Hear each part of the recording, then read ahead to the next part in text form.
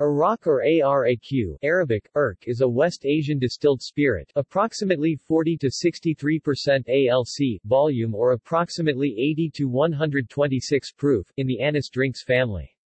It is a translucent white unsweetened anise-flavored drink, which is traditionally made of only two ingredients, grapes and aniseed. Aniseeds are the seeds of the anise plant, and when crushed, their oil provides arak with a slight licorice taste.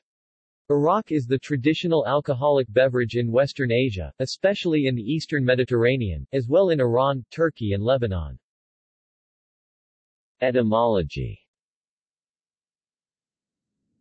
The word Arak comes from Arabic araq meaning perspiration. Its pronunciation varies depending on local varieties of Arabic, ara, ara. Arak is not to be confused with the similarly named liquor, arrack, which in some cases, such as in Indonesia, especially Bali, also goes by the name Arak. Another similar sounding word is ara, which in Armenia, Iran, Azerbaijan and Georgia is the colloquial name of vodka, and not an aniseed-flavored drink. Rakı, Mastika, and Ouzo are aniseed-flavored alcoholic drinks, related to Arak, popular in Turkey, Macedonia, Bulgaria, Cyprus and Greece respectively. Consumption Arak is usually mixed in proportions of approximately one-third Arak and two-thirds water in a traditional Eastern Mediterranean water vessel called ibrik, Arabic abarik abraik, then the mixture is poured into small, ice-filled cups. This dilution causes the clear liquor to turn a translucent milky white color. This is because anethole, the essential oil of anise, is soluble in alcohol but not in water. This results in an emulsion, whose fine droplets scatter the light and turn the liquid translucent, a phenomenon known as louching. Arak is commonly served with mezza, which may include dozens of small traditional dishes. In general, Arak drinkers prefer to consume it this way, rather than alone.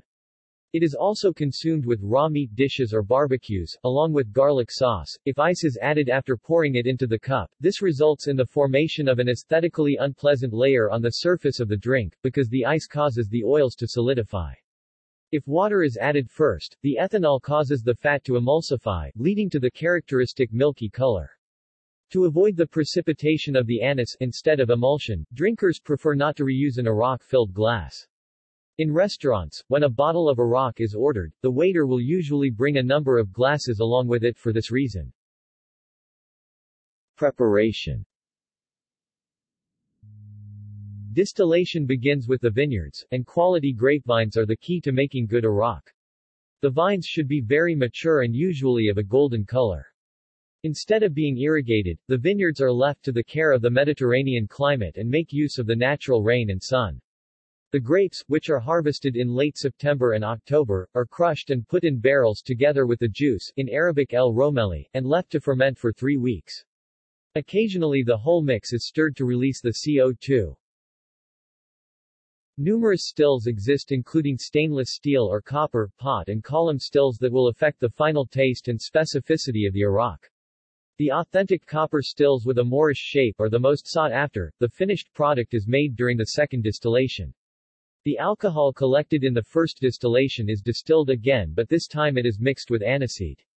The ratio of alcohol to aniseed may vary and it is one of the major factors in the quality of the final product. Another distillation takes place, usually on the lowest possible temperature. For a quality Arak, the finished spirit is aged in clay amphoras to allow the angel's share to evaporate and thus the remaining liquid is the most suitable for consumption. Some brands. See also. References. Sources and external links. Preparing Arak in Tula, Lebanon. Wine and Dine e-magazine. Syrian homemade Arak Video. Preparing homemade Arak near Tartus, Syria